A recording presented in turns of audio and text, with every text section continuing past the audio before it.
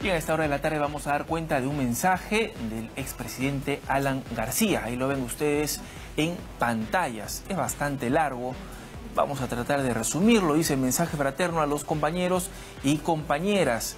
En la Casa del Pueblo agradecí su solidaridad y afecto, y afecto presentes en las horas duras y expliqué mis razones y objetivos. Pasados unos días me dirijo a ustedes para subrayar algunos temas centrales nada, nada hay de lo que se deba reprocharme a diferencia de otros expresidentes o personas a los que se ha aprobado malas acciones. Ya por 30 años, la alianza del odio derechista por la nacionalización de la banca en 1987 y del consumismo derrotado dos veces, 85 y 2006, ha intentado detener al aprismo criminalizándome con infamias, pero jamás ha probado nada más que su odio.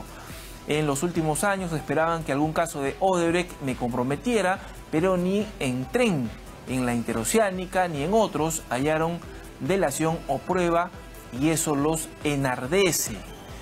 Eh, dice lo siguiente, por eso tras hablar de millones, denuncian en conferencia ofrecida en Brasil por 70 mil dólares, un año después de haber dejado el gobierno, caso igual al de los indultos, en el que anunciaron millonarios cobros. Más abajo sostiene Alan García, pero tienen grandes armas, una prensa en gran parte antiaprista y palaciega, además fiscales que impunemente llaman guerrilleros a los asesinos y en guerra civil al baño de sangre que causó el terrorismo y que con la misma ideología actúan con las mismas armas, la calumnia y el abuso procesal antidemocrático. Ellos, a falta de hechos, montan declaraciones y colaboraciones extorsionando a los procesados y ofreciéndoles beneficios económicos y procesales. Bueno, dice en, otro párrafo, me dirijo a la Prismo para recordarle su deber de unir al partido, de superar las rencillas secundarias y en su próximo Congreso Nacional incorporar jóvenes y nuevos dirigentes enarbolando los temas sociales y laborales como manda su ideología. Además, para tener orgulloso, orgullo de nuestro partido, el que hizo más obras para el pueblo en hospitales, luz, agua potable, etcétera.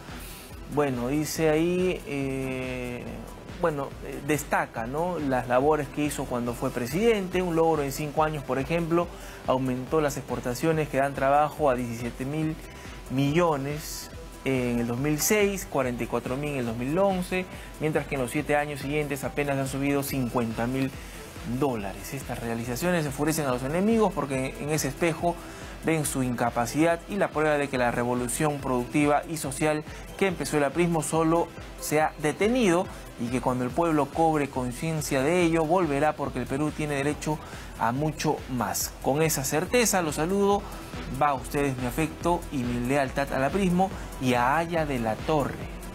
Víctor Raúl Aya de la Torre firma Alan García. Bien amigos, vamos a una pausa y retornamos.